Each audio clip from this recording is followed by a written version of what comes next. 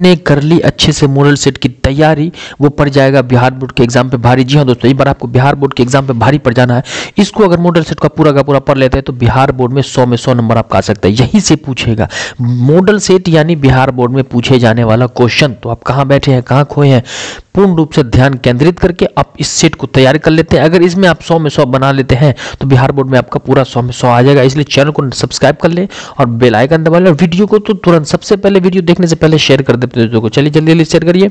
चलिए सब लोगों ने शेयर कर दिया। अब हम पढ़ना शुरू करते हैं। चलिए देखिए, सबसे पहला सवाल सेट दो चल रहा है आपका। एक सेट में देख कर चुका हूँ, एक सेट अगर आपने नहीं देखा है तो प्ले में जाकर के आप वीडियो को देख सकते हैं। पहला सेट वन है, ये दूसरा सेट हम पढ़ने जा रहे हैं। तो चलिए पहला सवाल हम देखते हैं आपका। पहला सवाल कह रहा है, उपवन शब्द में उपसर्ग बताइए तो उपवन शब्द में उपसर्ग जो जाएगा आपका उप हो जाएगा तो एक का ए हो जाएगा। क्लियर है? उसके बाद दूसरा कह रहा है, शस्त्र त्याग के बाद अशोक ने कौन सा धर्म अपनाया? तो आपको याद होगा, आपने पढ़ा होगा कि अशोक ने बौद्ध धर्म अपनाया तो दो का डी हो जाएगा आपका। तीसरा सवाल आपका कह रहा है कि कवि स्वर्ग को कहाँ उतारने की बात कहता है? तो आपने पढ़ा होगा कि कवि जो होता है, स्वर्ग को ज़मीन पर उतारने की बात करता है कि अगर कहीं है स्वर्ग तो उतार ला ज़मीन पर। फटाफट आप लोग कमेंट में बता दिया जाएगा। चलिए, चौथा सवाल हम करते हैं कि तू ज़िंदा है तो ज़िंदगी की खाली स्थान में यकीन कर तो तू ज़िंदा है तो ज़िंदगी की जीत पे यकीन कर तो चार का सी हो जाएगा आपका। क्लियर है? पाँच कह रहा है, रमज़ान के कितने रोजों के बाद आज ईद ईद आती है? तो रमज़ान के कितने रोजों के बाद? तो सी हो जाएगा, तीस रोजों के बाद रमज़ान के ईद आती है। तो पाँच का आपका तीन, सी हो जाएगा, तीस। छः कह रहा है, चिमटा देखकर अमीना के मन में कैसा भाव आया? तो अमीना के मन में कैसा भाव तो ये सवाल का जवाब हो जाएगा, सी, स्नेह के अतिरिक्त है, से मन गदगद हो गया, यानी प्रेम से उसका मन गदगद हो गया। सवाल नंबर आठ कह रहा, सात कह रहा है, पर्वतों को काटकर सड़कें बना देते हैं वे, सैकड़ों मरुभूमि में नदियाँ बहा देते हैं उपयुक्त दोहा के रचनाकार कौन है? तो पर्वतों को काटकर सड़कें बना देते इसके हरिओद है, कौन है? हरिओद सात का जगह आठ कह रहा है बाल गोविंद भगत का बेटा कैसा था? तो बाल गोविंद भगत का बेटा जो था वो सुस्त था। कैसा था? आठ का बी हो जाएगा आपका, सुत था उनका। अगला सवाल नंबर नौ कह रहा पुरलिया रोड से हुनरू की दूरी क्या थी? पुरलिया रोड से हुनरू की दूरी तेरह मील थी। नौ का बी हो जाएगा दस। हुनरू का झरना की ऊंचाई कितनी है? आपको याद होगा कि हुनरू के झरने की ऊंचाई 243 फीट है तो 10 का बी हो जाएगा। ग्यारह नंबर सवाल करें षड्यंत्र का दर, षड दर्शन का संधि विच्छेद क्या होगा? तो षड दर्शन का संधि विच्छेद षट जोड़ दर्शन सी हो जाएगा। क्या हो जाएगा? षट जोड़ दर्शन षट दर्शन। ग्यारह का सी। बारह महापुरुष कौन सा समास है? तो बारह का आपका सी हो जाएगा अव्यय भाव है। महापुरुष जो है वो अव्यय भाव समास है। तेरह कह रहा है तालबश मूर्धन दंश हो को क्या कहते हैं? तो तालब तालबश मूर्धंश दंश को हम उष्म व्यंजन कहते हैं। क्या बोलते हैं? उष्म व्यंजन तेरह का आपका बी हो जाएगा। अगला सवाल, चौदह का है, पश्चिम कौन सी संज्ञा है? तो आप पढ़ेंगे तो याद होगा आपको, पश्चिम आपका व्यक्तिवाचक संज्ञा है। क्लियर पंद्रह कह रहा है, पूर्व पुरुषवाचक सर्वनाम के कितने भेद हैं? तो पुरुषवाचक सर्वनाम के आपके तीन भेद होते हैं, उत्तम पुरुष, मध्यम पुरुष और अन्य पुरुष, ठीक है? सोलह कह रहा है, करण कारक का चिन्ह क्या है? तो आपको याद होगा, कर्ता ने कर्म को करण से तो करण का से हो जाएगा। क्लियर करण का से हो जाता है। सोलह का ए, सत्रह का विशेषण कितने प्रकार के होते हैं? सत्रह नंबर सवाल। सत्रह नंबर सवाल का विशेषण कितने प्रकार के होते हैं? तो विशेषण के मुख्यतः चार भेद होते हैं। कितने होते हैं? विशेषण के मुख्यतः चार भेद होते हैं। सत्रह का अस्सी हो जाएगा। अट्ठारह कह रहा नेता शब्द का स्त्रीलिंग क्या होगा? तो नेता का स्त्रीलिंग नेत्री हो जाएगा। नेता का स्त्रीलिंग नेत्री हो जाएगा। उन्नीस नंबर सवाल कह रहे हैं, फूले न समाना मुहावरे का अर्थ क्या है? तो फूले न समाना का मतलब हो जाएगा बहुत प्रसन्न होना, कोई व्यक्ति बहुत खुश होता है तो फूले न समाता है तो उसका क्या हो जाएगा? बहुत प्रसन्न होना, उन्नीस का सी। बीस कह रहा महेश का संधि विच्छेद क्या होगा? महेश का संधि विच्छेद तो महेश का संधि विच्छेद हो जाएगा महाजोर ईश महेश। ठीक है? सी हो जाएगा। बीस का बीस का क्या हो जाएगा? बीस का सी हो जाएगा। महाजोर ईश महेश हो जाएगा। इक्कीस कह रहा है, विनाश शब्द में उपसर्ग बताइए। तो विनाश शब्द में उपसर्ग आपका हो जाएगा बी वी हो जाएगा। बी में जो वी है वी ज़ोर नाश विनाश हो जाएगा। बाईस कह रहा है, मोहसिन के पास कितने पैसे थे? ईदगाह चैप्टर से लिया गया है तो मोहसिन के पास कितने पैसे थे? मोहसिन के पास कुल पंद्रह पैसे होते हैं तो बाईस का बी हो जाएगा। मोहसिन के पास पंद्रह पैसे थे। अगला सवाल, तेईस बाल गोविंद भगत किसे साहब मानते थे? तो बाल गोविंद भगत जो थे वो कबीर को साहब मानते थे। इसका सी हो जाएगा। चौबीस कह रहा है, विक्रमशिला विश्वविद्यालय की स्थापना, चौबीस नंबर सवाल कह रहा है कि विक्रमशिला विश्वविद्यालय की स्थापना किसने की थी? तो राजा धर्मपाल ने तो चौबीस का डी हो जाएगा आपका। अगला पच्चीस नंबर, जैनब खानम कहाँ की रहने वाली थी? रिसेंटली ये चैप्टर जो है हौसले की उड़ान से पूछा गया था। आपको याद होना चाहिए कि जैनब खानम जो थी वो मथुरा कहतरवा की रहने वाली कहाँ की थी? मथुरा की रहने वाली पच्चीस का हो जाएगा छब्बीस। कदम बरी होकर क्या बनना चाहती थी? तो छब्बीस का आपका बी हो जाएगा। कदम बरी होकर के क्या बनना चाहिए डॉक्टर बनना चाहती थी। सत्ताईस कह रहा है, जैनब आत्मरक्षार्थ लड़कियों को किसका प्रशिक्षण दे रही थी? तो 27 का आपका सी हो जाएगा कराटे का प्रशिक्षण दे रहे थे। किस चीज़ का? कराटे का प्रशिक्षण। 28 कह रहा है, उन्नीस सौ बावन ईस्वी के आम चुनाव में खाली स्थान से कर्पूरी ठाकुर विजय हुए थे। कहाँ से? 28 का। तो अभी रिसेंटली मैंने 28 का चैप्टर भी दिया है। 28 का आपका क्या हो जाएगा? समस्तीपुर के ताजपुर विधानसभा से। जननायक कर्पूरी ठाकुर कहाँ से जीते थे? समस्तीपुर के ताजपुर विधानसभा से उनकी जीत हुई थी उन्नीस सौ बावन के प्रथम आम चुनाव में। अगला सवाल नंबर है उनतीस। पहली बार कर्पूरी ठाकुर कब गिरफ़्तार किए गए थे? तो पहली बार कर्पूरी ठाकुर को गिरफ़्तार जो किया तेईस अक्टूबर 1943 को। कब किया गया था?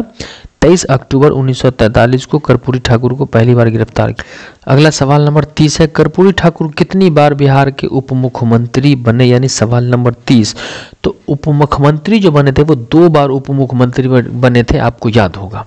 इकतीस नंबर सवाल कह रहा है, मांझी की सॉरी झांसी की रानी की लड़ाई लड़ी। झांसी की रा, रानी ने लड़ाई लड़ी थी। किससे लड़ी थी? तो अंग्रेज़ों से गोड़ों से। तो ये डी हो जाएगा इकतीस का झांसी की रानी।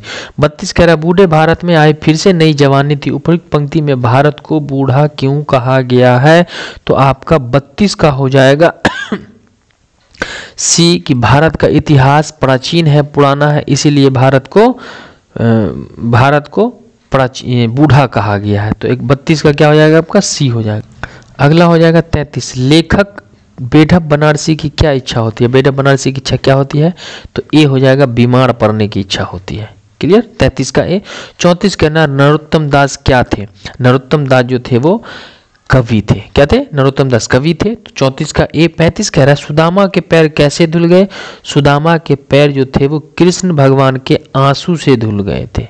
पैंतीस का सी हो जाएगा। पैंतीस का सी, छत्तीस कह रहा है सौ का उच्चारण स्थान क्या होगा? तो उच्चारण स्थान मैंने पढ़ाया बोल के देखो। सौ बोलोगे तो सौ का उच्चारण स्थान जो होता है वो दंत हो जाएगा। सौ का उच्चारण स्थान ए दंत हो जाएगा। सैंतीस कह रहा है, ऐसे यौगिक शब्द जो साधारण अर्थ छोड़कर विशेष अर्थ ग्रहण करे, उसे हम क्या कहते हैं? यानी ऐसे यौगिक शब्द जो साधारण अर्थ छोड़कर विशेष अर्थ ग्रहण करता है तो उसे हम योग रूढ़ कहते हैं, ठीक है? निम्न में से कौन सा शब्द व्यक्तिवाचक संज्ञा है? तो आपका निम्न में व्यक्तिवाचक संज्ञा जो है, वो आपका गंगा हो जाएगा। व्यक्तिवाचक खास है। उसके बाद कह रहा है, उनचालीस, मैं राम का भाई हूँ, वाक्य में सर्वनाम क्या है? मैं राम का भाई हूँ, वाक्य में सर्वनाम क्या है? तो उनचालीस का आपका ए हो जाएगा। सर्वनाम जो है वो मैं खुद एक सर्वनाम है। चालीस कह रहा है, कारक के कितने भेद होते हैं? तो आपने पढ़ा है कारक के आठ भेद होते हैं। कारक के कितने भेद हैं? कारक के आठ भेद होते हैं। इकतालीस कह रहा है, ऋषि शब्द का विशेषण क्या होगा? तो ऋषि का विशेषण जब इकतालीस का ए हो जाएगा आर्श होता है, ऋषि का। क्या होता है? आर्ष। अगला बयालीस कह रहा मैं पढ़ा रहा हूँ किस काल का उदाहरण है। मैं पढ़ा रहा हूँ किस काल का उदाहरण है तो ध्यान से सुने, ये जो आपका वर्तमान काल है, रहा है, रहे हैं, मैं पढ़ा रहा हूँ। तैतालीस कह रहा पीपल शीर्षक कविता का केंद्र में क्या है? पीपल शीर्षक कविता के केंद्र केंद्र में जो है वो कहा गया है, प्राचीन पीपल वृक्ष की बात कही गई है तो तैतालीस का ये हो जाएगा। चौवालीस कह रहा है कवि के अनुसार पीपल के पत्ते का आकार क्या है? तो पीपल का पत्ता का आकार जो है वो गोल गोल बताएगा कैसा गोल है? दीन बंधु निराला की नियुक्ति सबसे पहले कहाँ हुई थी? 45 नंबर सवाल कह रहा है कि दीन बंधु निराला की नियुक्ति सबसे पहले कहाँ हुई थी? तो दीन बंधु निराला की नियुक्ति जो होती है वो सबसे पहले रामकृष्ण मिशन सेवा में किया था। कहाँ? रामकृष्ण मिशन सेवा में पैंतालीस का डी हो जाएगा। छियालीस कह रहा है। छियालीस कह रहा है। जो रहीम दिन ही लखे, दिन बंधु समोह किस लेखक पर सटिक बैठती है? तो ये जो है आपका सूर्यकांत त्रिपाठी निराला के ऊपर लिखा गया। छियालीस का भी हो जाएगा। सैतालीस कह रहा है, किनका अधिकांश अवकाश काल दिनों की दुनिया में बीतता था? किनका? तो आपको पता होना चाहिए कि निराला जी का, जिसे दिन बंधु निराला कहा गया, सैतालीस का ए हो जाएगा। अड़तालीस नंबर कह रहा है, कसारा क्या लेने बाज़ार, क्या था आपका? कि कसारा क्या लेने बाज़ार जाता है। अड़तालीस नंबर सवाल। तो चाय पत्ते और शक्कर लेने जाता है, अड़तालीस का बी हो जाएगा आपका। चाय पत्ते और शक्कर लेने गया था जो चैप्टर में पढ़ा दिया मैंने, उनचास कह रहा है, खेमा शीर्षक कहानी के केंद्र में है तो ये बाल मजदूरी के, ये आपका सी हो जाएगा, बाल मजदूरी के केंद्र में। पचास कह रहा है, खेमा मालिक कसारा से किस चीज़ की मांग करता है? तो खेमा अपने मालिक कसारा से जो है ना, चप्पल की मांग करता है, पचास का डी हो जाएगा। क्या माँगता है वो चप्पल की मांग करता है। इक्यावन कह रहा है अबरक और कोयला खदानों का वर्णन किस पा, किस पाठ में किया गया है? यानी अबरक और कोयला शब्दों का प्रयोग किस पाठ में किया गया है? तो वो है हुनरू का जलप्रपात में कि कोयला अबरक का उपयोग किया गया। बावन कह रहा अशोक का शस्त्र त्याग शीर्षक एकांकी में। एकांकी में किसके महत्व पर प्रकाश डाला गया है? तो इसमें आपका हो जाएगा अहिंसा के महत्व कि लड़ाई झगड़ा न करने का अहिंसा कहते हैं। तिरपन कह रहा है खुशबू रस्ते हैं हाथ शीर्षक कविता में श्रमिक कैसी परिस्थितियों में रह रहे हैं? तो ये कैसी परिस्थिति में रह रहे हैं? आप इसके बारे में बता सकते गंद, गंदगी के बीच रह रहे हैं। किसके बीच रह रहे हैं ये? गंदगी के बीच रह रहे हैं। तिरपन का सी हो जाएगा आपका। क्लियर है? अगला चौवन नंबर सवाल देख अगला चौवन नंबर सवाल विक्रमशिला विश्वविद्यालय किसके काल में शिक्षा केंद्र बना? यानी विक्रमशिला विश्वविद्यालय जब शिक्षा केंद्र किसके काल में बना? तो बौद्ध के काल में बी हो जाएगा आपका चौवन का, बी हो जाएगा बौद्ध के काल में। फिर कह रहा है, आदान का विलोम क्या हो जाएगा? तो आदान का विलोम आपका प्रदान हो जाएगा, बी हो जाएगा पचपन का। छप्पन कह रहा पुरस्कार का विलोम शब्द क्या होगा? पुरस्कार पुरस्कार यानी इनाम देना तो इसका क्या हो जाएगा? पुरस्कार का तिरस्कार हो जाएगा, यानी बेइज्जत करना तो इसका ए हो जाएगा। संतावन कह रहा है, आगम का विलोम क्या होगा? आगम का विलोम आपका हो जाएगा सुगम। बी, संतावन का बी, आगम का सुगम, पूरा का पूरा आप मिलाते यदि आपका सौ में सौ सही जाता है तो यानी बोर्ड में आप सही बना लेंगे। चलिए, अगले नंबर देखते हैं, अंठावन फिफ्टी एट का है। आशा शब्द का विलोम क्या होगा? तो आशा का आप समझते हैं, निराशा हो जाएगा, बी हो जाएगा। 59 कह रहा है, निम्न शब्दों में कौन सा शब्द शुद्ध है? 59 का तो शुद्ध शब्द आपका जो औषधि, ये जो है इलाज, जिसको औषधि, दवा को हम कहते हैं, ये आपका शुद्ध है। फिर 60 कह रहा है आपका कि निम्न शब्दों में कौन सा शब्द शुद्ध है? तो इसमें है ना, शैव ये लिखा हुआ है, साठ जो कह रहा है आपका वो, शैव जो है वो, ये आपका शुद्ध है। निम्नलिखित शब्दों में कौन सा शब्द अशुद्ध, सॉरी, शुद्ध नहीं, अशुद्ध यानी गलत है तो ये सब सही है। शैव जो होता है वो बौ दिया हुआ तो ये आपका शुद्ध है। इकसठ कह रहा है, सिक्सटी वन, निम्नलिखित वाक्य में कौन सा वाक्य शुद्ध है? इसमें वाक्य पूछ रहा है कि वाक्य आपका जो है वो कौन सा वाक्य शुद्ध है? तो आपका वाक्य जो है, राम ने रोटी खाई, इकसठ का सी हो जाएगा, ये शुद्ध वाक्य है। अगला कह रहा है, निम्न वाक्यों में कौन सा वाक्य अशुद्ध है? फिर वाक्य अशुद्ध पूछ रहा कि ऐसा कौन सा वाक्य है जो अशुद्ध है? तो आपका ये, मैंने गुरु जी का दर्शन किया, ये वाक्य गलत है। अगला कह रहा है, तिरसठ नंबर सवाल कि इंद्रियों को जीतने वाले के लिए एक शब्द, तिरसठ, इंद्रियों को जीतने वाले को तो हम इंद्रियों को जीतने वाले को जितेंद्र कहते हैं तो तिरसठ का आपका सी हो जाएगा जितेंद्र। चौसठ कह रहा है, जो पहले कभी ना हुआ हो, उसके लिए एक शब्द। तो जो पहले कभी ना हुआ हो, उसके लिए एक शब्द होता है अभूतपूर्व। जो पहले कभी ना हुआ बी हो जाएगा। पैंसठ कह रहा है, चारों ओर जंगल और पहाड़ के बीच में प्रकृति की लीला स्थल हो रही है। किस चैप्टर में बताया गया है? तो हुनरू के जलप्रपात में कहा गया पैंसठ का आपका क्या हो जाएगा? ए हुनरू का जलप्रपात। छियासठ कह रहा है, रीति काल के प्रसिद्ध कवि का नाम बताइए। रीति काल के प्रसिद्ध कवि कौन है? तो ये आपके बिहारी हैं जो रीतिकाल के प्रसिद्ध कवि हैं। छियासठ का ए हो जाएगा। सड़सठ कह रहा है, बिहारी के अनुसार मनुष्य किसके बिना बड़ा नहीं बनता? तो बिना मनुष्य जो होता है वो गुण के बिना, गुण के बिना कोई भी व्यक्ति बड़ा नहीं हो सकता। तो सड़सठ का सी हो जाएगा। सिक्सटी एट यानी अड़सठ कह रहा है दीर्घ सांस न लेहू, दुख सुख साई ही न भूल, किस कविता की पंक्ति से है? यानी 68 का किस कविता से लिया गया है? तो ये आपका बिहारी के दोही से लिया गया, जो कि आप पढ़ चुके हैं। 68 का ए हो जाएगा। 69 कह रहा है फनीश्वर नाथ रेणु की कहानी है। फनीश्वर नाथ रेणु ने कौन सी कहानी लिखी है? तो फनीश्वर नाथ रेणु की लिखी हुई कहानी जो है आपका वो ठे, ठेस है। क्या है आपका? ठेस है जो फरीश्वरनाथ रेणु ने लिखा है तो सिक्सटी नाइन का सी हो जाएगा सत्तर, कह रहा है, ठेस शीर्षक कहानी में कौन दौड़ते हुए प्लेटफॉर्म पर आया? तो दौड़ते हुए प्लेटफॉर्म पर आपको याद होगा, चैप्टर पर होगा सिरचन आता है दौड़ते हुए प्लेटफॉर्म पर मानू दीदी के लिए। खुद को बुराई से बचाकर नेक राह पर चलने की दुआ किस कविता में मांगी गई है? तो इकहत्तर का आपको पता होना चाहिए। चलिए इसका मैं नहीं बताऊँगा, इसका कमेंट में आप बताना, ये बहुत ईजी है। खुद को बुराई से बचाकर नेक राह पर चलने की मांग किस कविता में की गई है? तो इसका आप लोग कॉमेंट सेक्शन में बताइए। मैं एक अगला बहत्तर नंबर कह रहा है आपका। बहत्तर नंबर सवाल कह रहा है कि स्त्रियाँ भी निहत्तों पर वार नहीं करेगी। यह पंक्ति किस पाठ से ली गई है? किस चैप्टर से लिया गया है? तो ए, अशोक के शस्त्र त्याग से लिया गया है, जो कि पद्मा कहती है कि स्त्रियाँ भी निहत्थों पर वार नहीं करती है। तिहत्तर पद्मा कौन थी? तो पद्मा कलिंग महाराज की बेटी थी। क्या है? कलिंग महाराज की बेटी तिहत्तर का ए हो जाएगा। चौहत्तर नंबर सवाल क्या है आपका? अशोक का शस्त्र त्याग एकांकी किसकी रचना है? तो अशोक का शस्त्र त्याग जो लिखा है वो डी वंशीधर श्रीवास्तव ने लिखा है। सेवेंटी फोर का आपका डी हो जाएगा वंशीधर श्रीवास्तव। पचहत्तर कह रहा है, दिनकर किस रचनाकार के नाम के, नाम से जुड़ा हुआ है? तो इसका पचहत्तर का आप गेस करो। चलो मैं बताता हूँ। बी होगा रामधारी सिंह दिनकर। याद आ गया आपको? रामधारी सिंह दिनकर दिनकर के नाम के साथ जुड़ा हुआ। निंदा है ईर्ष्या की माँ का नाम। निंदा जो है वो ईर्ष्या की माँ का नाम। तो छिहत्तर का आपका सॉरी छिहत्तर का जो है ना, ईर्ष्या की बड़ी बेटी का नाम निंदा है। ये सी हो जाएगा आपका, याद रखना। 76 का सी होगा, ईर्ष्या की बड़ी बेटी का नाम जो है वो निंदा है। 77 कह रहा है रामधारी दिनकर का जन्म हुआ। रामधारी दिनकर का जन्म कहाँ हुआ था? तो बिहार में ही इनका जन्म हुआ था रामधारी दिनकर का। 77 का सी हो जाएगा। 78 कह रहा है, भक्ति काल के कवि कौन है? तो भक्ति काल के कवि कबीर दास है जो भक्ति धारा गुण भक्ति धारा के कवि कबीर दास होगा सेवेंटी का डी हो जाएगा।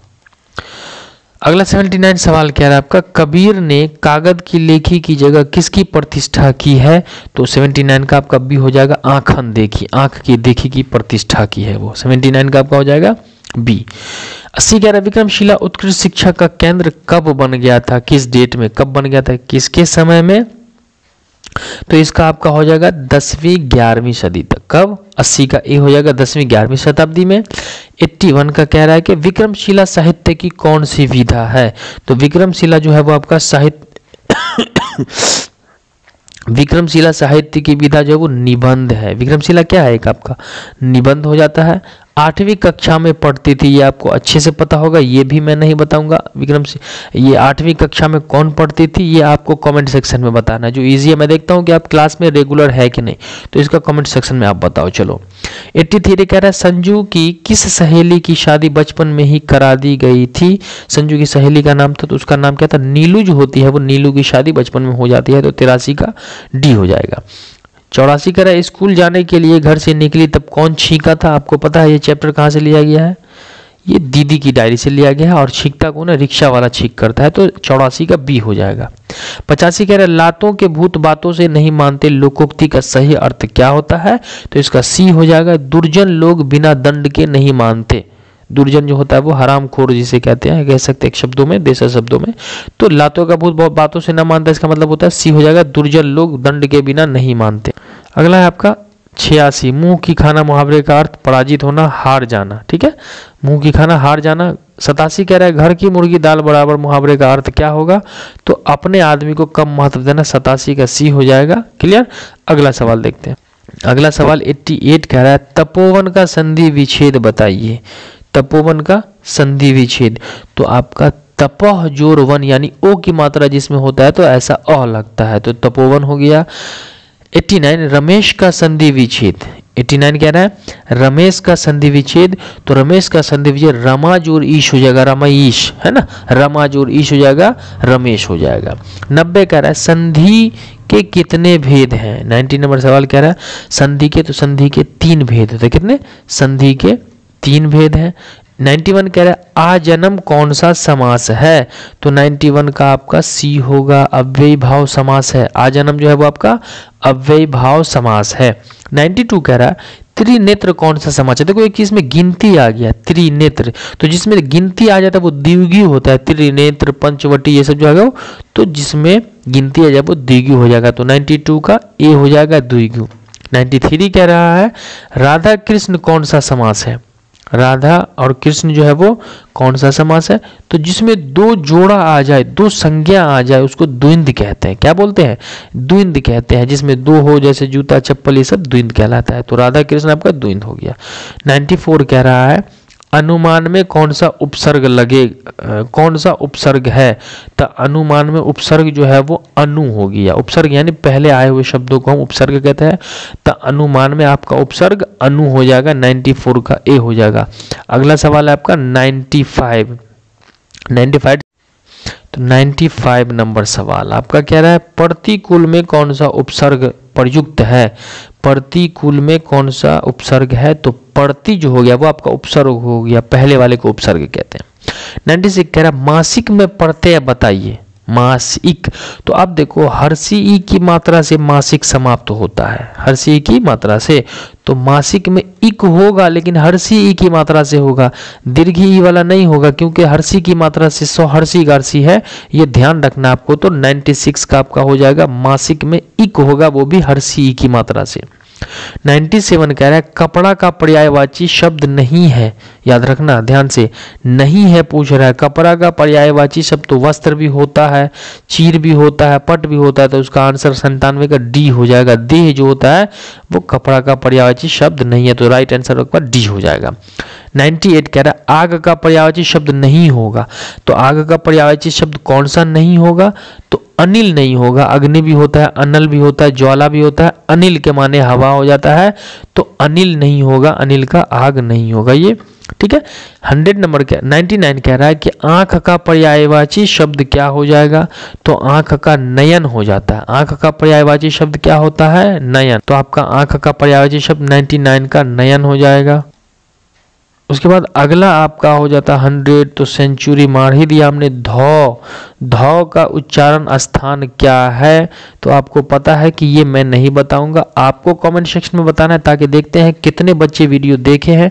और जो भी बच्चे देख रहे हैं कमेंट सेक्शन में इस, इसका आंसर ज़रूर दे ताकि हमें लगे कि आपने कुछ सीखा है, मैंने आपको कुछ सिखाया तो धौ का उच्चारण स्थान क्या होगा? आप कॉमेंट सेक्शन में ज़रूर बताएँ। चारों ऑप्शन आपके सामने हैं। चारों ऑप्शन में जितने बच्चे सही बताएँगे, मैं अगले वीडियो में इन सबका नाम लेने वाला हूँ। गारंटी सारे अगला वीडियो बनेगा जो ऑब्जेक्टिव क्लास दूँगा, उसमें आप सभी का नाम लूँगा जो जो सही जवाब देंगे। तो चलिए, आपका क्लास यहीं पर खत्म होता है। आपने पूरा पूरा वीडियो देखा, उसके लिए बहुत बहुत धन्यवाद। और अगर आप चैनल पर नए हैं तो चैनल को सब्सक्राइब कर लेंगे बेलाइकन दबा लेंगे, ताकि हर दिन की वीडियो का नोटिफिकेशन मिलता रहेगा। और एक काम आप, और आपको करना है मेरे लिए वीडियो को अपने टोटल ग्रुप में शेयर कर देना, ताकि आपके दोस्तों का हर रोज मैं कहता हूँ, आप शेयर नहीं करते हो।